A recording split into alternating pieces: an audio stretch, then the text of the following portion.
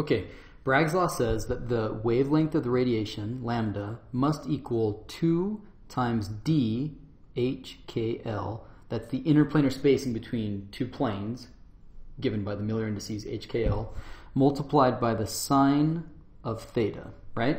So, how does this tell us what the crystal structure is? Here's how it works.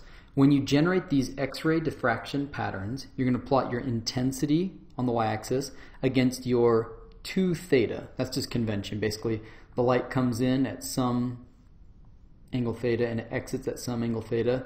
So they usually plot it against 2 times theta. That's just convention, right? And you observe peaks. Like here's one, here's one, here's one, here's one, and here's one. This is an example where you can count those peaks. These all occur at different 2 theta values, but the wavelength of your radiation over here is a constant. It's not changing.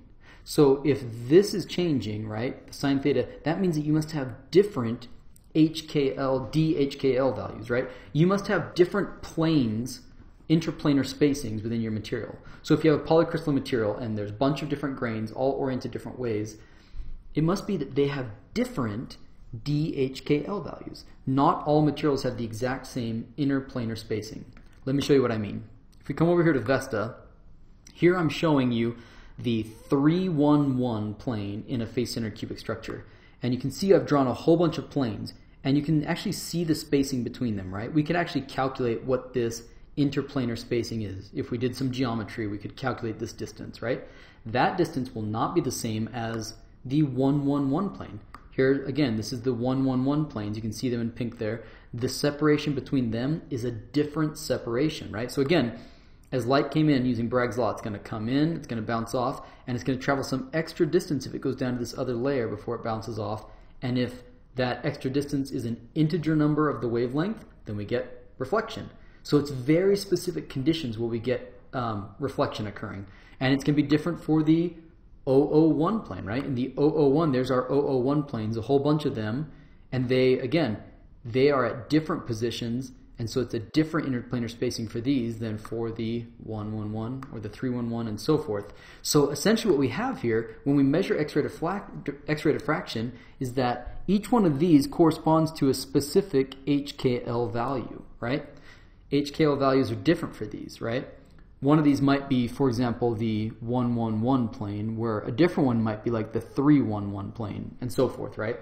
I don't know what they are for this specific one, but that's the idea behind it. Okay?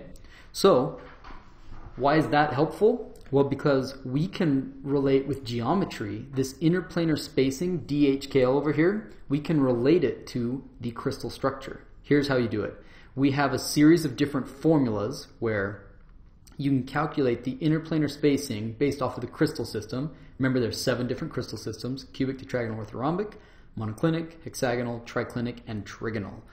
In this class, we're not going to do any of these really hard ones. So we're going to focus on these ones right here, these four. These ones are a lot easier to do. We won't do any of the harder ones in this class. In a later course on crystallography, those ones would be fair game.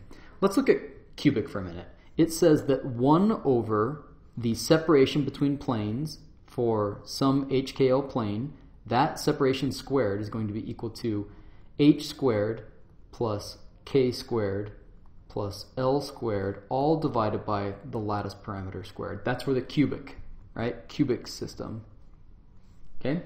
In other words, if we wanted to figure out the interplanar separation for the 311 plane, right, which we showed you over here, here's the 311 plane. If we wanted to figure out what that distance is, instead of trying to, you know, MacGyver the geometry yourself, which would be really hard, we can just use this formula. We can plug it in. So it's going to be equal to 1 over d for the 311 system squared will be equal to 3 squared plus 1 squared plus 1 squared, all divided by a squared. So if you knew the lattice parameter for that system, you could plug it in for a, and once you know that, you could solve for the interplanar separation right?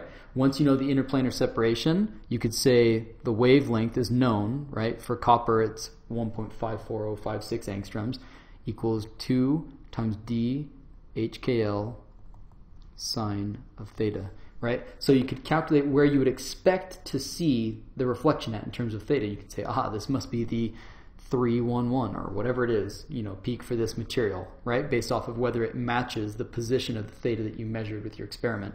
So this is the concept behind X-ray diffraction. We're going to do a bunch of examples where we work this out and show you how to actually use it.